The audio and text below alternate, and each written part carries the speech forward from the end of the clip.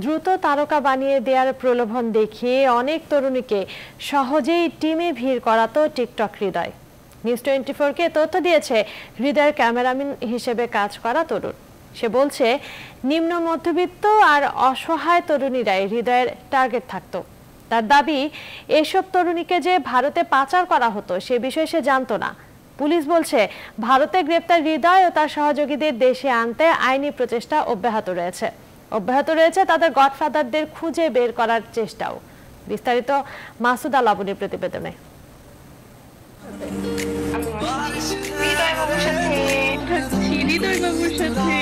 সাম্প্রতিক সময়ে ব্যাপক আলোচনায় টিকটক।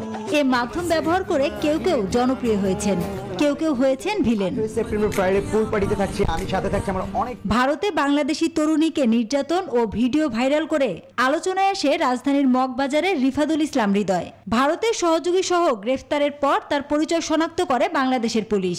তরুণীদের সাথে টিকটক বানিয়ে হাতিরঝিল মগবাজার এলাকায় হয়ে ওঠেন জনপ্রিয়।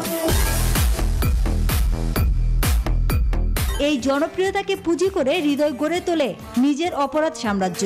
নিম্নবিত্ত পরিবারের মেয়েদের টার্গেট করে হ্যাং আউট ফুল পার্টির নামে নিজের চক্র গড়ে তোলে। নিউজ টোয়েন্টি ফোর খুঁজে পেয়েছে এক তরুণকে যে হৃদয় টিকটক বানাতে ক্যামেরাম্যান হিসেবে কাজ করেছে। কেউ আমার বলছে কিছু টাকা দিবে? ঠিক আছে আমি টাকার জন্য কি চার পাঁচ দিন ওর সাথে ভিডিও করি? রেস্টুরেন্ট আর বিভিন্ন জায়গায় ভিডিও করতো মানে অনেক মেয়েই ছিল। এই যুবক জানায় অনেক তরুণী জনপ্রিয় হতেই হৃদয়ের সাথে টিকটক বানাতো। যারা ভিডিও করতে আসে টিকটক করতে যারা চায় ঠিক আছে তারা তো এইটাই স্বপ্ন দেখে যে টিকটক করে টিকটক সেলিব্রিটি হব। দাবি করেন টাকার বিনিময়ে কাজ করত। নারী পাচারের বিষয় ছিল অজানা। আমি শুনছি বেশ কিছু মেয়ে নাকি ওর সাথে বাইরে যাওয়ার কথা ছিল।